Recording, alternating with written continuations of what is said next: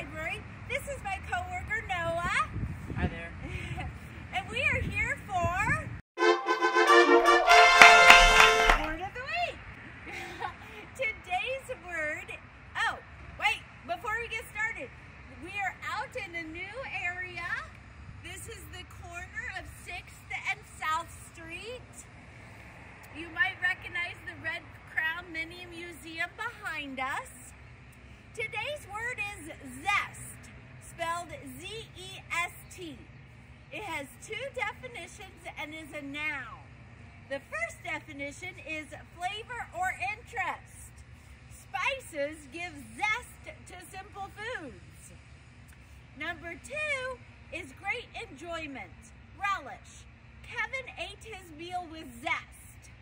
That can often be said about me. Now, moving through the alphabet that means wait. What's after Z? New edition of Word of the Week using the Dewey Decimal System. Until then.